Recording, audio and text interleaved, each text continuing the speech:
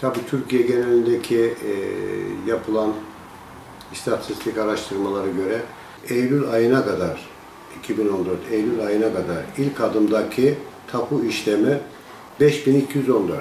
Bunu net bir ceva- e, rakam veriyorum. 2015'te 5330. Şimdi e, Canık 2014 1390, 2015 1497. Atakum 2014 6394, 2015 6801. Bu rakamlara göre yani atış, e, satışlarda bir artışın var olduğu ortaya çıkıyor. Ama bu benim için yeterli değil. Çünkü neden yeterli değil? Tapu dairesindeki yapılan işlemlerin satış mıdır?